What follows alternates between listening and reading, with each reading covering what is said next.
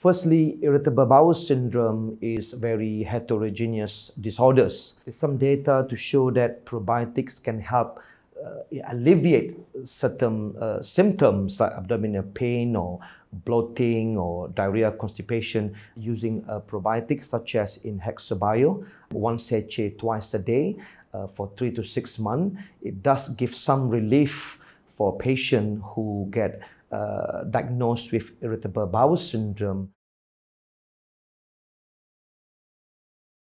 Uh, I've taken Hexbio more than five years. I have actually uh, diagnosed as a mild IBS symptom. So doctor prescribed me this Hexbio earlier time. So after that I felt it's good, then I continue to consume.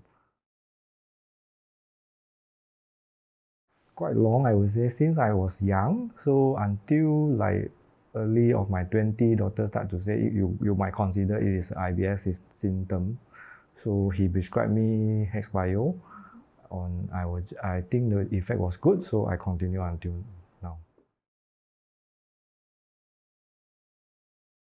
After taking Hexbio, the symptoms reduce a lot, like uh, loose uh, stools and also uh, bloating stomach.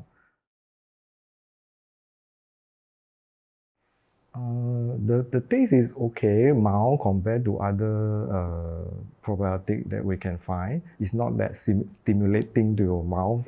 And also uh, the granule is okay, not, not sticky, so you can swallow it or you can just take it by its own.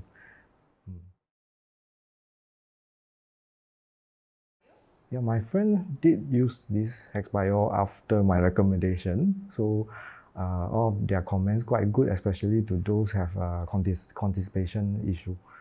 It should be fine. Their, their comment is good. They say they are relieved after that.